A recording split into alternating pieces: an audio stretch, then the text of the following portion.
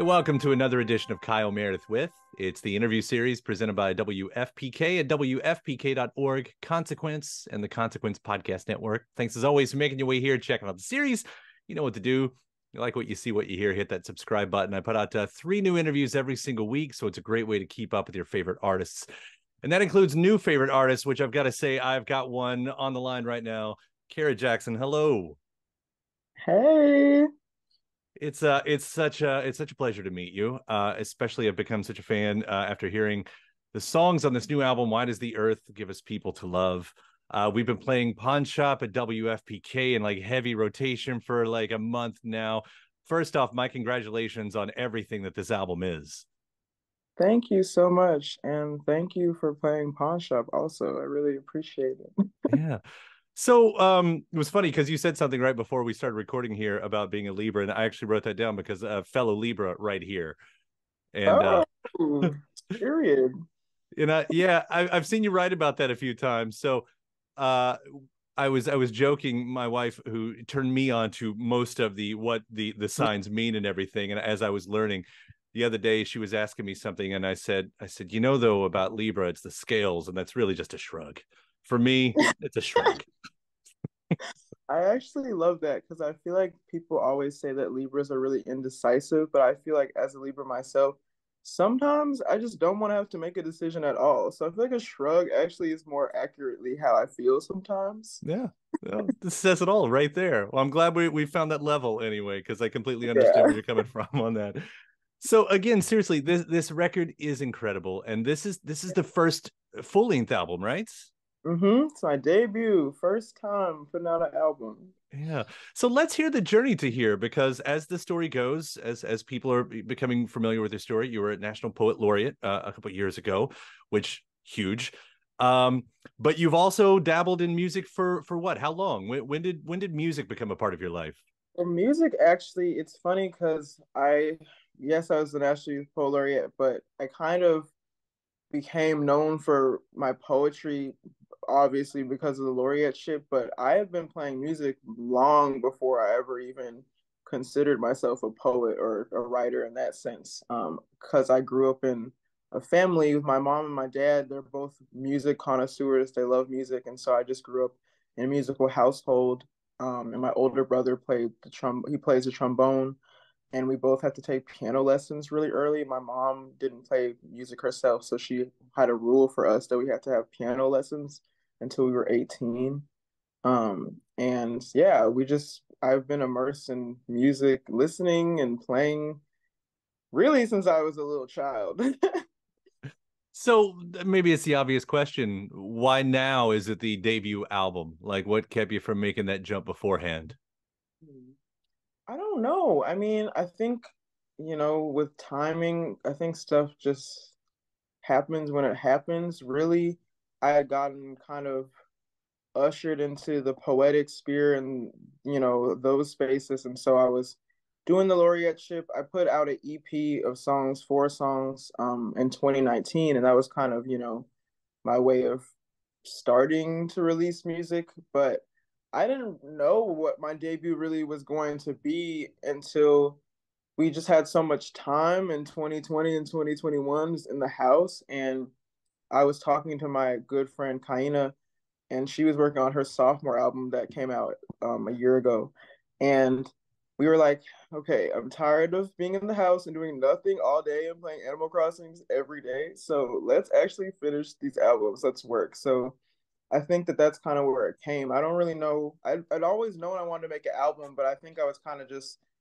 playing stuff by ear. I'm the type of person that really takes my time. Like I'm not really going in accordance to someone else's clock. So I was just like, whatever, my debut album will happen when it happens. Um, and it just kind of became this whole process. I finished the album. I think I finished writing it all in my bedroom, I think in January of 2021. And then I showed my friends, Kaina and Sen. Um, and then we got my friend Nnamdi involved, and the rest is really history. We started just working on stuff and recording and building everything. And that's just kind of how it happened. It was very organic in that way. Yeah. So when you when you know then that you're you're working on a piece something that will be a piece, whether it's conceptual or not. Do you start to get that idea of what you wanted to represent? I mean, I, I see, you know, one of the phrases that used is a sonic invitation to process our grief. Is that mm. for you? Is that something that comes after in hindsight, or or are you working towards that? Um, I think I don't know. Sometimes there's some songs like the title track, for example. I'd actually started writing that song when I fin- around the time I finished high school, so like 2018, 2019.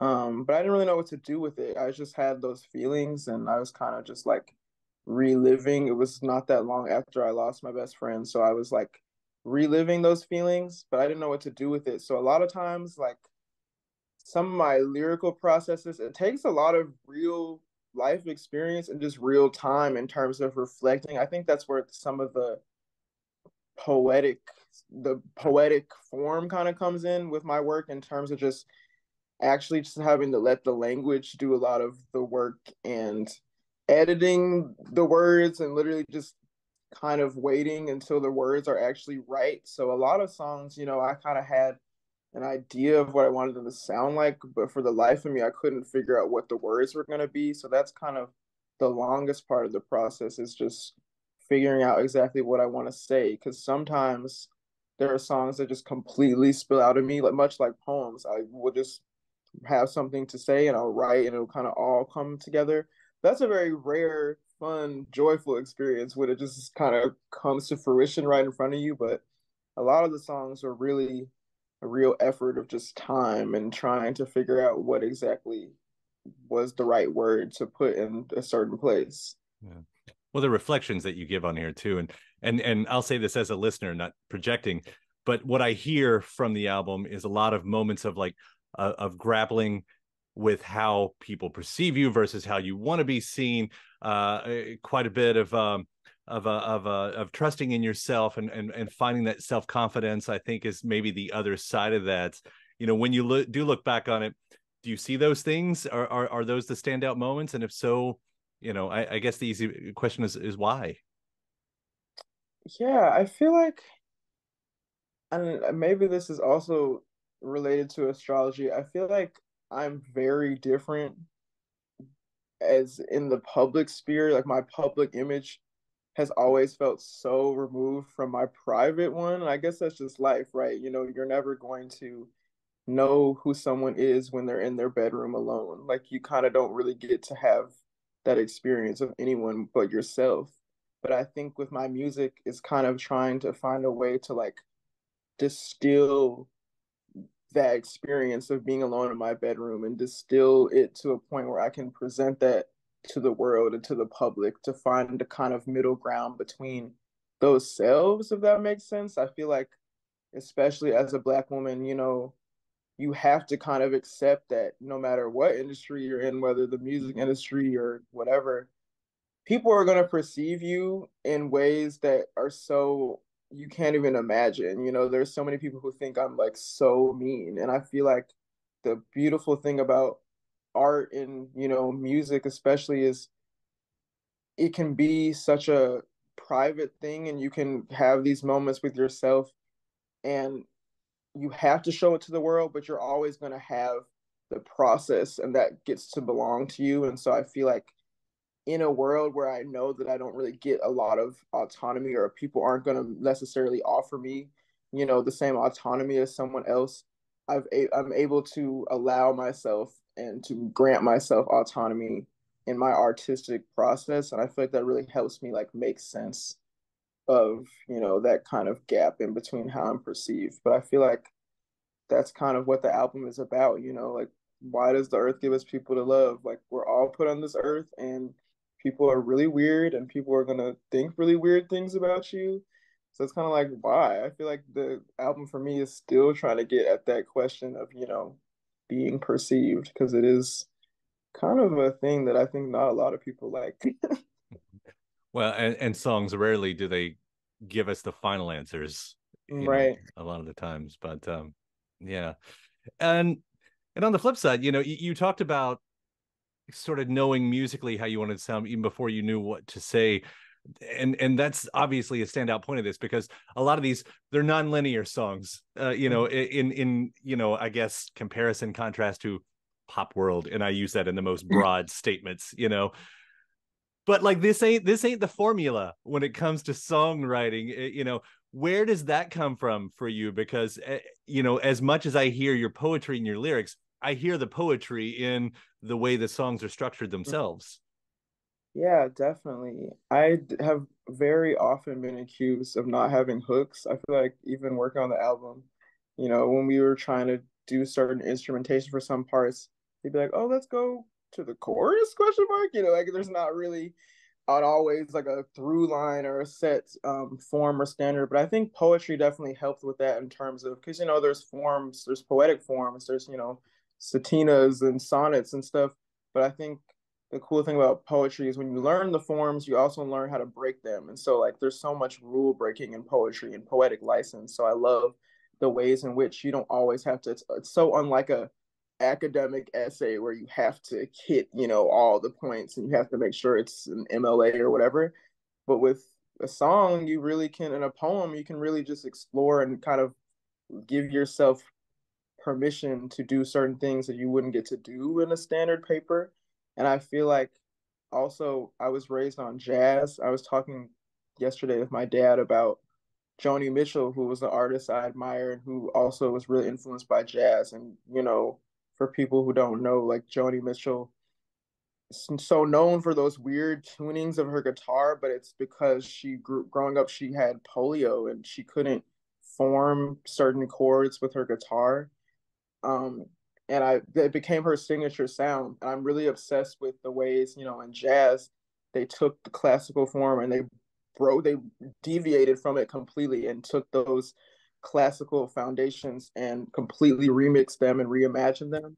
I think I'm always obsessed with you know the ways in which we can take the standards and internalize them and learn them really well and then completely wreck them and ruin them so I feel like that's kind of where I get that from. Even not intentionally. I think sometimes I'm just like, I like the way that this is. I like the way that the song is. And people are like, where's the chorus? And I just never even thought to put a chorus in. So it doesn't even matter. I like you talking about especially that era of, of Joni, because I don't think it gets talked about a lot, you know, especially when she was working with Jaco Pastorius and mm-hmm. and the mid mid to late seventies where it just that's re- my favorite album. I think. Yeah yeah, when that stuff got really, really interesting. But I hear you. I obviously I hear that in your music, and and I love it how you know some of these songs start so small. You bare bones uh, guitar, whatever the instrument is, just you, and by the end of the song, or maybe the middle of the song, you've taken it from the small moment to this big epic, you know, instrumentation that comes along and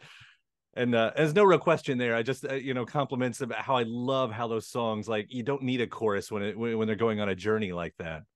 Thank you. Yeah, I really admire you know artists like Joanna Newsom who you know completely force us to really rethink you know the space that music takes up. Like, what does it mean? You know, she has these 13 minute long songs, and I feel like I love things like that that just literally challenge the listener and challenge you know what we're used to considering as like listenable music. I feel like that's kind of something that i try to embody in my own work as well.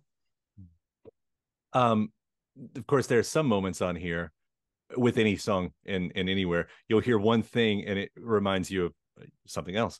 Mm-hmm. and uh dickhead blues you hit that bell and all I can think of is, is this a Fiona Apple callback?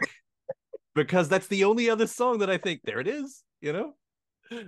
That's so funny because it really is. And I didn't know if people were gonna even, I guess, notice, but Dickhead Blues really is in a lot of ways. It's totally, you know, I feel like I couldn't have made that song if I didn't grow up listening to Extraordinary Machine. I just couldn't. I feel like that's very funny that it's pretty clearly communicated. but totally, that's totally um, something that I admire about Fiona and her lyricism too. The kind of I feel like she is someone who really complicates, you know, what it means to be singing or like even like you know the her most recent album. I was like, is this rapping technically? one of the all-time greats. That was um one of my earliest concerts was seeing her, and uh yeah, just incredible. And it'll probably be another ten years before she releases an album, and I'll love it even still. Right. you know, when it comes around. Uh, Brain also is another song I think that I gravitated toward a lot that reminded me not specifically of like a Fiona Apple song, but in the way, you know, some of her songs uh, you feel in the music what you're singing about you know this and I, and I, think you're talking about multiple things in this song here but this this idea of of not being able to sleep you know even at its its basis and how the song pushes and pulls against that one. I'd love to hear just about that one's creation. Yeah brain is a pretty old i mean relatively it's one of the songs that when we were making the album i kind of already had it prepared because i've been playing I wrote Brain around this the time that my EP came out in 2019. So I kind of had that song. It's one of my favorite songs that I've written actually.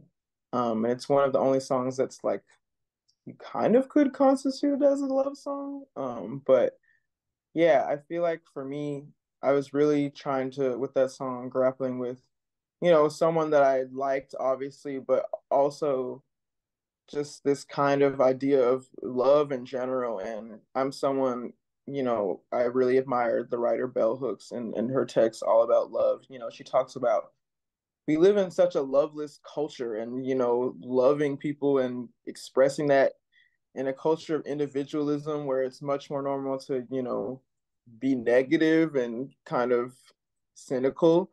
It's so hard to cultivate and nurture, you know, a loving culture and to nurture love and to actually know what it means to love other people. So I feel like with Brain, I was really trying to grapple with even myself, even as I was trying to tell someone else that I like them, like, you know, the lyric, like, we're we're both afraid, you know. I think everyone kind of is afraid to love each other, and so like, you know, I'll give you my fear if you give me yours. I think that that's kind of what I was trying to really contend with in that song is, you know, how do we the pursuit of loving one another in a moment where it's really terrifying to do that.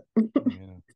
Well, it's a beautiful moment on the record. Uh, again, one of my favorites, and and and Rat is another one. I mean, what a great riff, and how everything's playing together in that song, and and then we end with Liquor, which is a surprising moment because you've hit the reprise, you know, from where we began. And I don't know if you think about the album in a linear way, but where are we left when when when we land on on that track yeah, I feel like Liquor is like the Her Majesty of the album because mm-hmm. I feel like I love songs like that. I love, you know, those moments where you think everything's done and then you're like, wait, what is this? I feel like Liquor is kind of a way to kind of leave on a question almost, you know, like to not necessarily because the album title is really and the album is driven by the question of the title. And so I feel like as definitive as I can sound as a writer I also feel like I'm still trying to grapple with that question. I feel like Liquors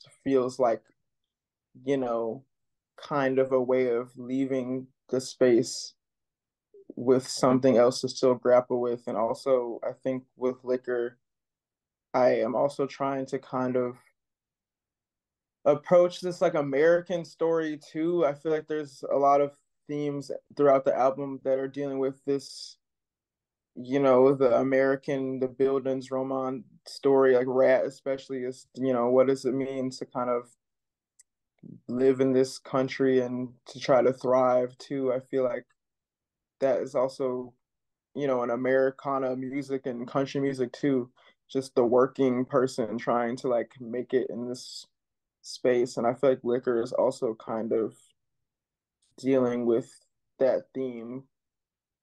Yeah well, like I said, it's a it's it is a journey. I keep using that word, but um, it's fun to hear just the way it unfolds from the beginning to the end. And and I see that you're taking out on the road uh, some dates with Danielle Ponder, which I'm such a big mm-hmm. fan of mm-hmm. as well. Me too. Yeah. And what's what's I guess that's what's the what's the rest of the plan for the year? I mean, is this one just going to keep you out there? Do you still do, I mean, do you keep a foot in the professional side of the of the poetry um of your poetry work too? Yeah, I keep a little toe in there. I feel like I have been not as actively doing poetic things. I feel like I've done a few things here and there this past year, but it's really been music heavy with the album coming out really soon. Um, and we have some dates in May in LA, and then gonna have some stuff here in Chicago in the summer. So yeah, it's really, you know, I'm done. Also, I graduate from college in May, so it's kind of it's kind of a lot of things happening. So I'm also trying to schedule in some room for celebrations and whatnot. Um, but yeah, I really am just kind of as my first my album, I don't know what it's like to put out an album. So I also am really in real time just letting the process teach me things, you know, for the next process. So I think it's just really about kind of letting things just come out in the world and just see how everyone reacts to them, I guess. It's kind of mm-hmm. nerve wracking, but just I have a lot of friends who've done it already. So I'm really lucky in that way to kind of lean on them. yeah, man, and graduating, what a time to launch something like this. An early congratulations. Um I don't think there's any I don't think you jinx it at this point. Like it's happening, right? That's yeah. Got my cap and gown. I have to record I have to record my name to send to them so they say it correctly. Nice, nice. Well, um, I love the record so much. Uh, thank you so much for taking the time to talk about it. It's been a real pleasure. Of course. Thank you for having me and thank you for listening also. And thanks to my guest. Also, thanks to you for uh, for checking out the episode in the series. Before you get out of here, hit that subscribe button. Again, uh, you get three brand new interviews every single week. New one every Monday, Wednesday, and Friday at uh, right here on YouTube or of course anywhere in podcast land, including iTunes, Apple Podcasts, Spotify, Podchaser, NPR, or WFPK.org as well. A great way to keep up with your favorite artists and discover new ones as well. Then after that, actually head over to WFPK.org. That's where I do a show Monday through Friday, 6 p.m. Eastern. It's an hour full of song premieres, music news, anniversary spins, bonus interviews, Monday through Friday, 6 p.m. Eastern at WFPK.org. Consequence has your music and film news. You can also find me on the social media spots uh, Facebook, Instagram, mostly on Twitter. All three of them, the address is at Kyle Meredith. Do hope you like and follow along. That does it for another edition. I'm Kyle Meredith. I'll see you next time.